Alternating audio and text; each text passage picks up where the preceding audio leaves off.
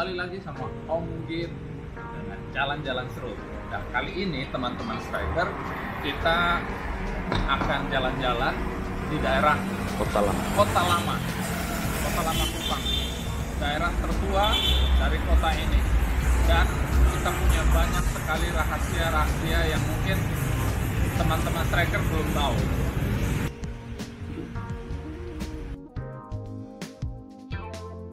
Ya, jadi eh, seperti teman-teman lihat, sekarang posisi kita berada di Kota Lama, ya, dan di belakang saya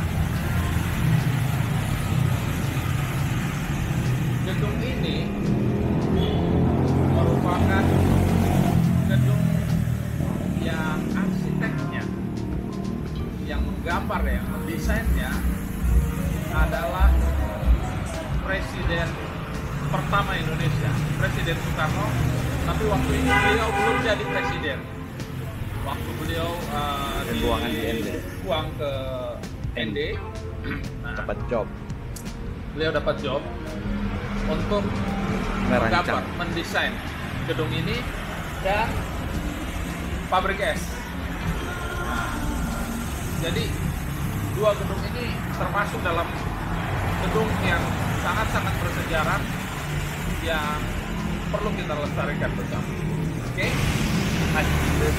Nah, teman-teman, sekarang kita akan eh, jalan-jalan ke daerah yang namanya. Lailai Besikopan. Nah, jalan pelan-pelan dan kita melihat eh, bangunan-bangunan. Semoga kita masih bisa dapat bangunan-bangunan yang eh, belum banyak berubah. Oke? Ayo.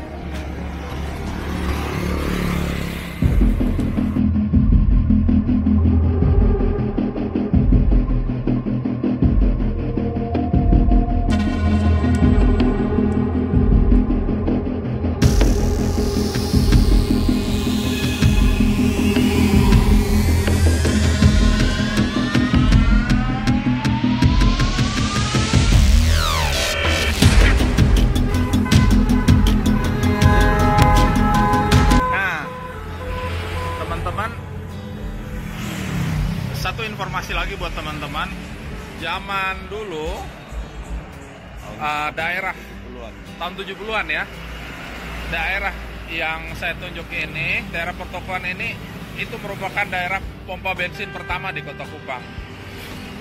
Lalu sempat berubah jadi taman kota. Setelah jadi taman kota, terus jadi area pertokohan. Ya, seperti yang sekarang sudah banyak banyak hutan beton di sini.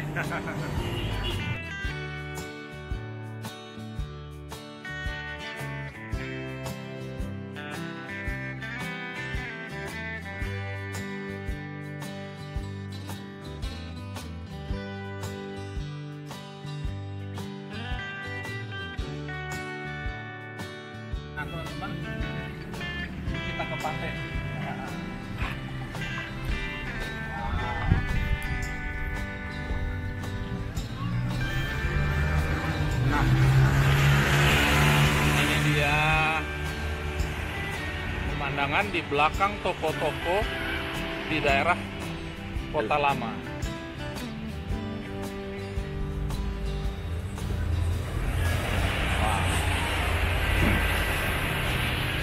Nah, ada hal yang menarik yang ingin saya ceritakan kepada teman-teman.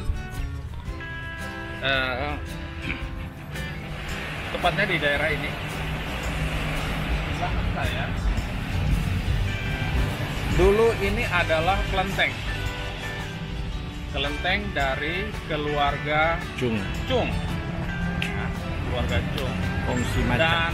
eh, kelenteng ini itu namanya Kongsi macan. kongsi macan. Kongsi macan. Jadi eh, dulunya toko ini belum ada. Sebelum toko ini ada, ini adalah kelenteng di mana orang-orang eh, Tionghoa. eh, keturunan Tionghoa yang eh, beragama Konghucu itu melakukan Ibadah. ibadah ritualnya di sini. Di Kongsi. Gitu. seperti uh, teknologi Imlek, Imlek Cap dan- Gome. dengan dan Cap Gome. cap gome cap gome benar benar benar benar nah sekarang sudah jadi toko dan Rumah tinggal.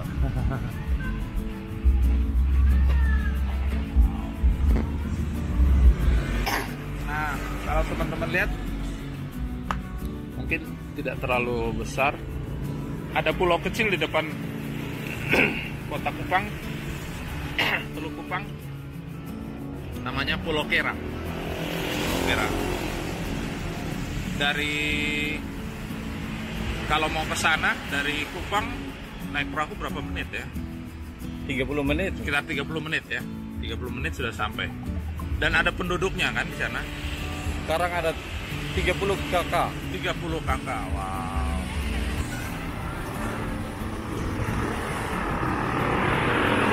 Teman-teman, kita sekarang akan ke eh, stasiun. Eh, Terminal. terminal. Oh, stasiun. Kita ke terminal, terminal Kupang. Dan eh, ada satu toko yang umurnya sudah cukup tua, kira-kira sudah 100 tahun. Jadi kemungkinan uh, toko itu berdiri sejak tahun 1920-an.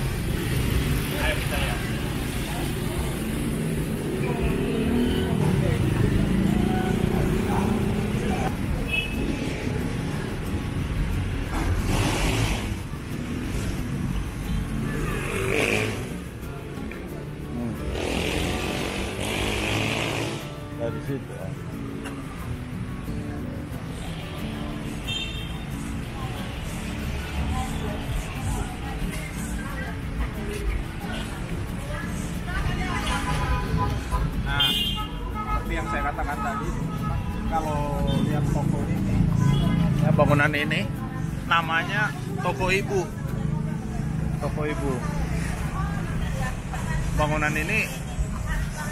sudah 100 tahun kira-kira umurnya. Sekarang sudah di hampir 2019, 2020 dan toko ini dibangun kira-kira 1920-an. Mari mungkin kita lihat dari sisi sebelah sana untuk bisa lihat uh, sedikit lebih banyak arsiteknya. Nah, kalau kita lihat uh, arsitektur bagian atasnya, ya, dan juga kalau kita lihat dindingnya ini tidak ada slope betonnya dari bawah terus sampai ke atas hanya susunan eh, batu laut. ya. Ini batu laut yang dipahat ya, dan jadi seperti batu bata.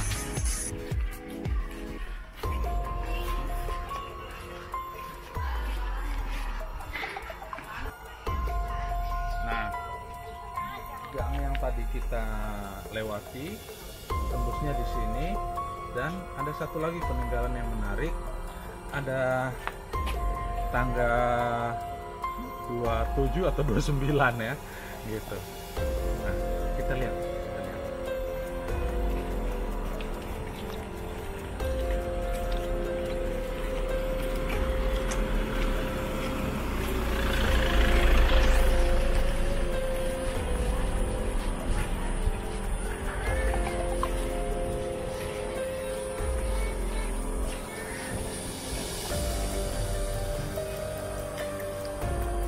Banyak yang lewat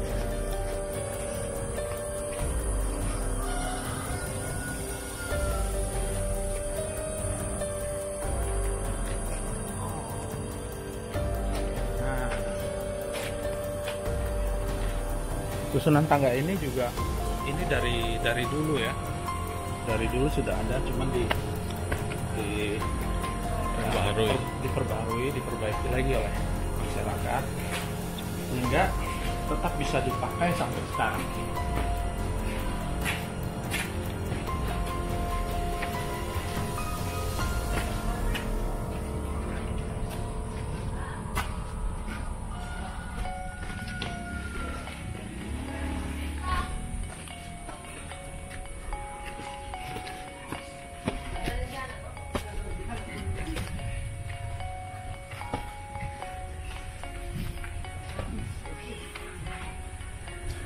Lumayan buat olahraga.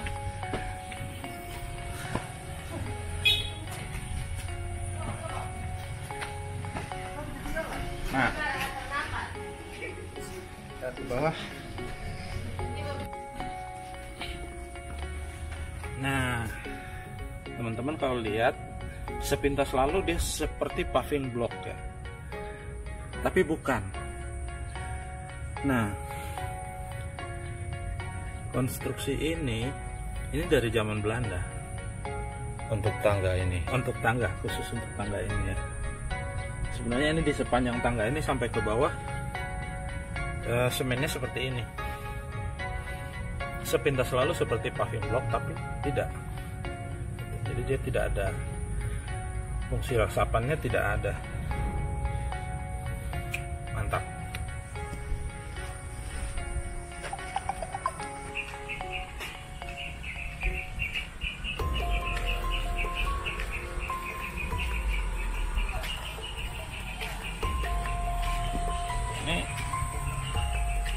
Pohon-pohon termasuk pohon-pohon yang paling tua di Kupang.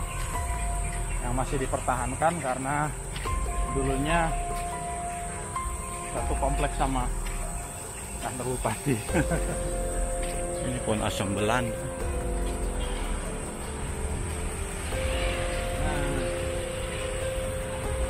gedung ini? Ini juga dulu peninggalan zaman Belanda. Lihat tulang-tulangnya dari kayu, Jadi kasih jendela jendela di atas. jendela di atas. Yang lain sudah banyak yang di dibuka, tapi kalau kita lihat kayu-kayunya, ini masih peninggalan zaman Belanda. Satu lagi, ini dulu gedung salah satu gedung kolonial juga. Masuk ke dalam sama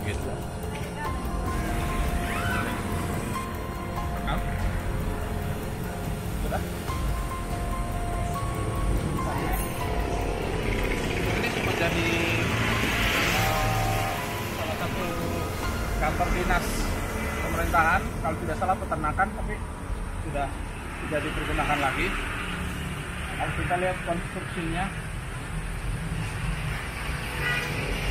jendelanya, ini masih masih asli. Arsitektur Eropa. Arsitektur Eropa tapi gedungnya saya tidak tidak terawat.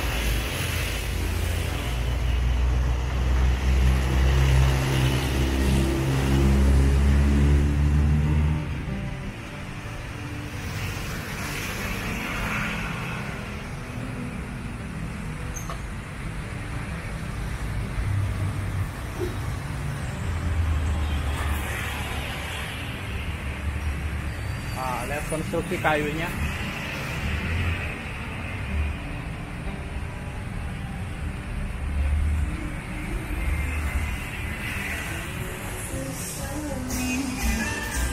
Teman-teman,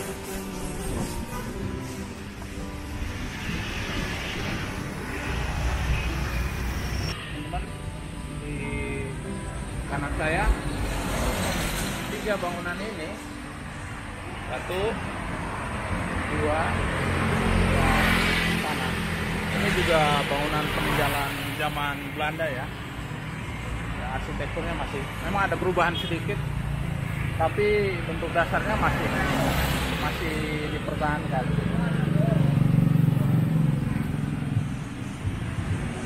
Nah sekarang ya eh, satu lagi yang penting ada sebuah bangunan yang umurnya sudah lebih dari 100 tahun. Katakan salah satu bangunan tertua di Kupang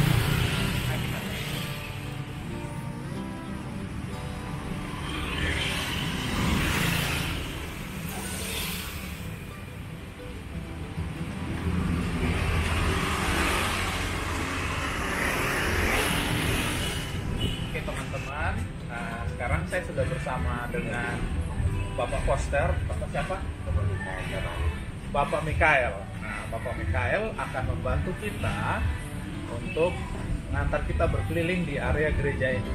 Karena gereja ini merupakan salah satu peninggalan bersejarah yang luar biasa. Umurnya sudah lebih dari 100 tahun. Benar ya Bapak ya? 200 lebih tahun. Oh 200 lebih tahun ya. 200 berapa tahun? Boleh dibilang bahwa ini bangunan paling tua di Jepang. Yuk, Belanda, Inggris, dan ada empat negara itu apa datang pada waktu Jadi itu. awalnya itu sebenarnya 400 tahun yang lalu ya. Ya, eh eh, Injil masuk ke ini Indonesia. ke NTT NTT.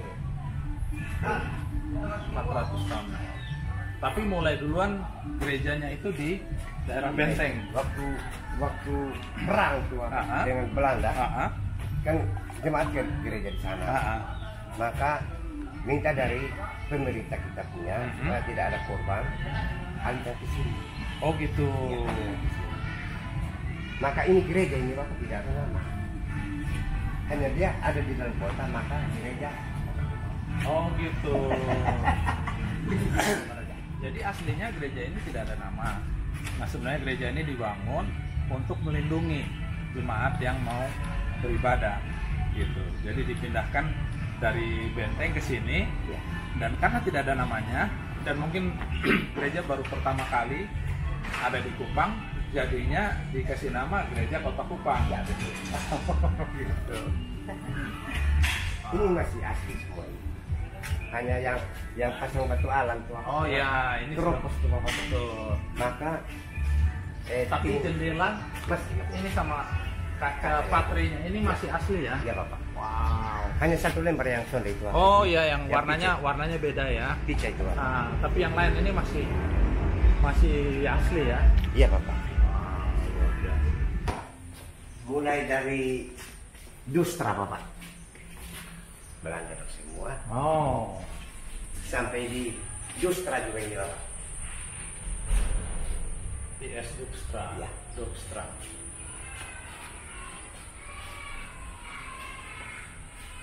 Ini baru dapat dua hari lalu tuh Bapak, dari dari Belanda. Hmm. JJ Arnoldus Iya. sama Ya Pak. Ma- Mar- Michael Marcus Ngeva. Oh ini ini ini Bapak, bukan ini ini. ini. Oh yang itu. Ya. Detan. Ya, ya. Abia Detan. Toisuta. Nah ini teman-teman eh, pendeta-pendeta dari awal berdirinya gereja ini. ya. Oh. Oh dari sini. Paling paling dulu. Yang Durkstra. Ya. Yang dia membawa ada kuburan di situ itu. Ah. Di satu sisi itu dia ada keahlian di pertanian. Hmm. Maka dia dia kupang ini NTT ini ini apa ini bapak? Tidak ada kehijauan. Maka dia kembali ke Ambon, Mhm. diambil jeruk. Bibit jeruk ya. Bibit jeruk. Maka Bibit jeruk. bibit jeruk itu turun di kapal. Turun di kapal. Ya. Soe. So itu itu. Ah. Nah, makanya ada jeruk kapal jeruk kapal. Oh aslinya itu dari Ya, Ambon. dari Ambon. Beliau yang berjuang yang bawa jeruk itu. Pak. Makanya dia perkuburan itu apa? Dari batu ini ada pahat logo jeruk. Hmm, luar biasa ya. Luar biasa. Benar-benar ber- berdampak ya.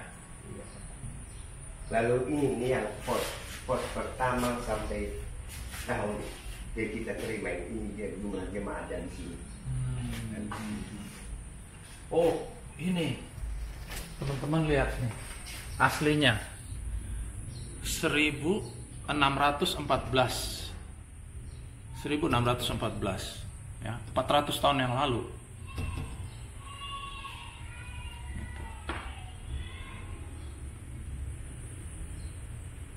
wow wow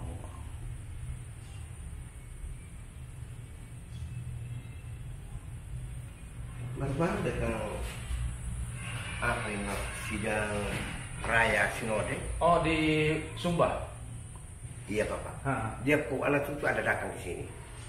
Wow. Yang ini. Dukstra Maka dia dia datang hari Minggu waktu dia tidak ini Ah. perlu eh panjang ini yang hanya keliling gereja langsung pegang tangan pulang langsung pegang tangan. dan dia janji nanti tidak akan kembali lagi supaya kita keluar muka lagi Nah, nah gedung yang bagian ini ini tambahan, tambah tambahan. karena jemaat Ah. makin hari makin Makin banyak. makin banyak maka membangunlah Ah. Hmm. Nah, kita akan masuk ke dalam gereja yang merupakan bentuk aslinya. ya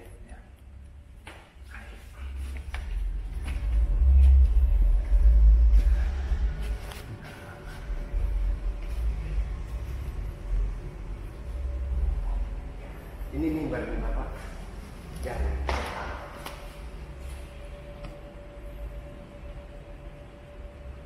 Cuma di ini ya, di koridor lagi ya yang dirawat ya. Tapi tapi aslinya memang Ya. ini ya. dengan tiang ya Ah, ya, ya. coba lihat ini tiang-tiangnya. Jadi ini ini konstruksi dari awal. Dari awal.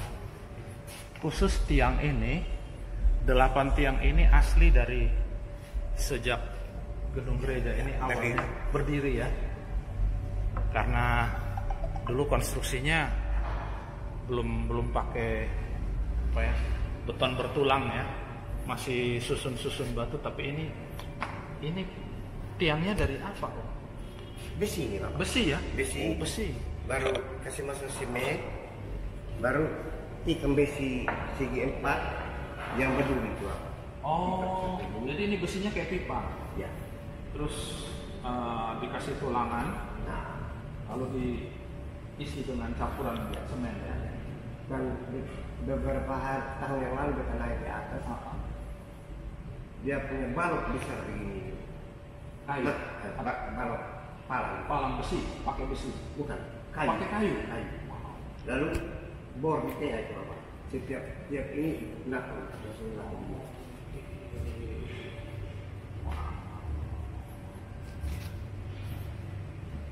hebatnya ya konstruksi. Uh, zaman itu sampai sekarang masih masih bertahan. Kalau kalau zaman kita sekarang kayaknya tidak banyak yang bisa ah, bisa bertahan se- seperti ini.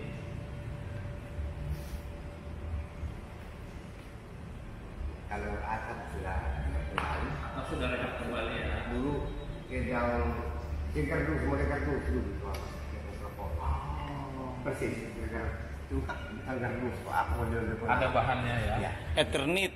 Ethernet. atasan utama Oh, dengan dulu tidak ada lampu ya. Oke.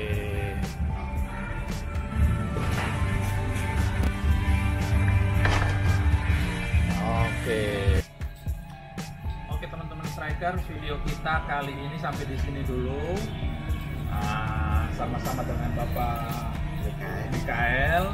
Terima kasih banyak sudah antar kita keliling dan melihat eh, sebuah bangunan bersejarah Kota Kupang yang ternyata luar biasa. Kemungkinan belum banyak orang yang tahu bahwa gereja di sini ternyata umurnya sudah 400 tahun. Jadi dukung terus channel ini, jangan lupa subscribe, like, ya, share, komen, dan kita ketemu lagi di video-video selanjutnya. Salam strike.